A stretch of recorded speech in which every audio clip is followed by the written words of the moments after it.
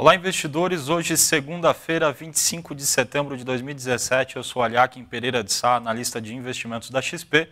Estamos começando mais um Para Onde Vai o Dólar. Nas últimas semanas, nos últimos dias, eu venho falando com vocês sobre a região do 350 para o dólar. O mercado acima dessa faixa de preço poderia desenvolver uma correção maior.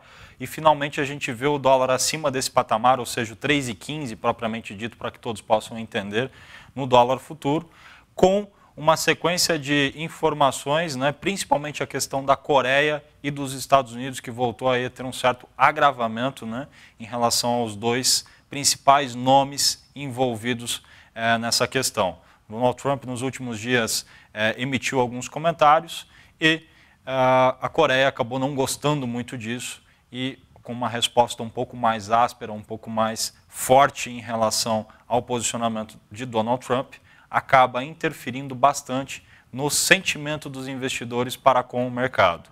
Isso trouxe para o dólar o rompimento desse ponto tão importante que eu destaquei para vocês nos últimos dias, que é o patamar dos 3,150, do 3,15, e isso traz espaço para a gente desenvolver uma correção até o 3,190, o 3,200, ou seja, 3,19, 3,20 como alvo inicial. Portanto, iniciamos a semana com algo completamente diferente do que a gente vivenciou na semana passada uma movimentação de extrema consolidação, mercado indefinido, subiu um, dois dias, a gente alertou para essa região para o dólar, mercado acabou voltando, tinha ali na região do 3,11, 3,12 também bastante suporte, né? ou seja, o 3,110, o 3,120, eh, essa era a região de preços, né? 3,150 com 3,120, 3,111, essa faixa o mercado respeitava bastante.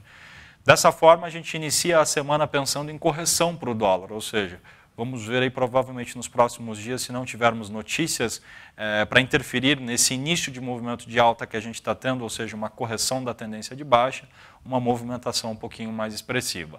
Já para o Ibovespa, o movimento foi o contrário, a gente teve uma realização bem significativa para o Ibovespa, destaque negativo para as ações da Uzi Minas, que caem caíam mais de 10% até iniciar aqui o programa com vocês. Vamos ver como vai ser o fechamento do ativo, um dos destaques negativos, né? para o dia de hoje, sobrando apenas dos principais papéis aí que a gente comenta com vocês, Petrobras, que conseguiu se manter ao longo de todo o dia com uma variação um pouco mais interessante, ou seja, no campo positivo, ignorando o que aconteceu com o Ibov. O interessante para a gente aqui também é destacar o comportamento da Petro. O Ibovespa subiu muito mais do que a Petrobras acabou subindo, então podemos dizer que o papel está um tanto quanto atrasado. É claro que o quadro de notícias acaba interferindo. Na semana passada a gente falou da questão da sessão onerosa, que envolve aí cerca de 12 bilhões de reais que podem ou não ir parar no caixa da empresa.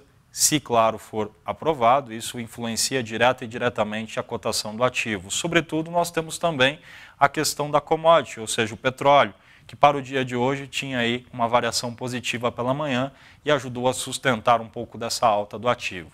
De qualquer modo, os principais papéis do Ibovespa passaram por uma realização, realização essa que a gente também já vem alertando para vocês, uma vez que o mercado passou por uma sequência de várias semanas de alta.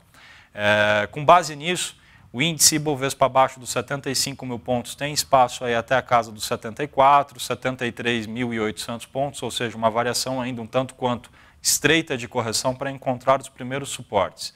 O rompimento desses níveis, claro, apoiado com algumas notícias é, um pouco mais negativas, pode trazer para a gente espaço para uma correção maior, ou seja, bastante atenção.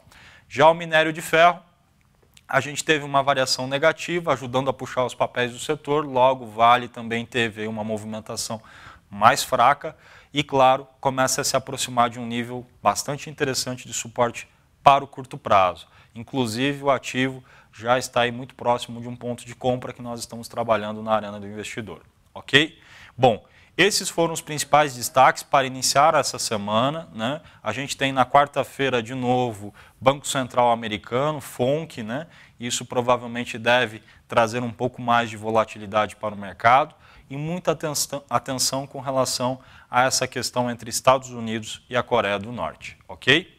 Bons investimentos a todos vocês. Esses foram os destaques para essa segunda-feira. Um grande abraço e até o próximo Para Onde Vai o Dólar.